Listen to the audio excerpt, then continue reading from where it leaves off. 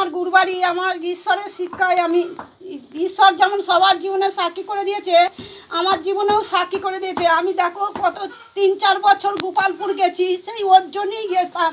আমাকে সবাই বলতো, তো ঈশ্বরের কাছে যুক্ত হয় না গোপালপুর চো না, তোর মেয়েদের তো বাচ্চা হয় না তাহলে ওর কাছে যে চাইলে তোর মেয়েদের বাচ্চা হবে।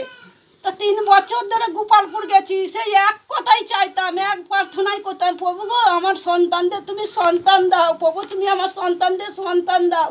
তা ওখানে তো আমি এতদিন গেছি, সন্তান পাইনি, তারপরে আবার এইখানেতে আমার যুক্ত হনু এইখানে ভবনে।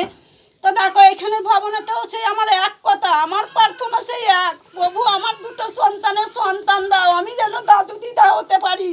সকল সন্তানের নাতি নাতনি দেখলে আমার বুক কেটে যায় তুমি সেই আশীর্বাদ করো প্রভু গো। আমি সেই সব সময় সন্ধ্যে সকাল প্রার্থনা করছি আর সবসময় প্রভুকে আমার অন্তকরণ দিয়ে চোখের জলে বুক ভিজিয়েছি। তা প্রভু আমার শুনেছে ডাক আমার প্রার্থনা শুনেছে আজ আমার মেজ মেয়ে মা হতে চলেছে। হালেলুয়া প্রভু ধন্যবাদ প্রভু প্রভু আমার মুখ রেখেছে আমি প্রভুকে সদা সর্বদাই বলি প্রভু গো তুমি ওই মা সন্তানকে সদা সর্বদাই তোমার দুধ আছি তুমি কাছেও আছো দূরেও আছো। তুমি ওই সন্তানকে সুস্থ সবল রাখবে। জয় যিশু হালেলুয়া। জীবন্ত ঈশ্বরের ধন্যবাদ। প্রভু যিশুর ধন্যবাদ। আর প্রভু আপনার মেয়েকে প্রচুর প্রচুর আশীর্বাদ করুন। জয় যিশু, হালেলুয়া। অন্তর থেকে নমস্কার।